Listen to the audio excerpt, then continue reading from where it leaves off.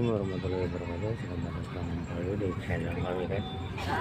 Kali ini saya akan meliput sebuah pembangunan proyek terpadu Kabupaten Brebes Ini salah satunya di kota Islamik Tepatnya di pesawahan guys. Ini masih ada sawah penanaman bawang guys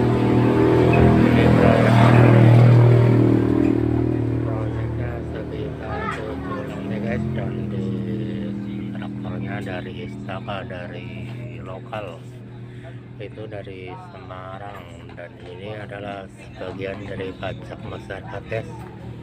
Oke kita pembangunannya ini. Oke guys jangan lupa ikutin terus perkembangannya dan selamat berjumpa kembali. Wassalamualaikum warahmatullahi wabarakatuh